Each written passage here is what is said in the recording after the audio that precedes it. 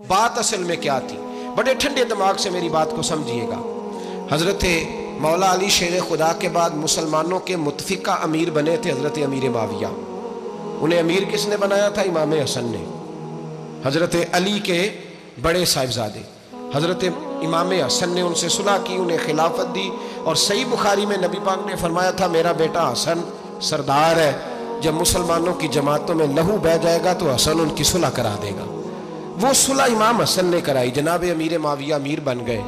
हज़रत अमीर माविया रदी अल्लाह तहो बड़ा प्यार करते थे नबी पाक से, बड़ा एहतराम करते थे हुजूर के ख़ानदान का। उनकी जो इजतहादी ख़ताएँ हैं, वो अपनी जगह पर मौजूद हैं। चूँकि इमाम हसन ने उनसे सुलह कर ली, लिहाजा हम भी उनके बारे में कोई जुमला कहने के मजाज हमारी मजबूरी इमाम हसन है। इसलिए कि जिसे इमाम हसन सही कहे, फिर इमाम हसन के मानने वाले को उसे गलत नहीं कहना चाहिए। हज़रत